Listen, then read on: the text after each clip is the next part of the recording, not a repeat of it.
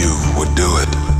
You would go back in time, and you would do whatever you had to do to destroy the future.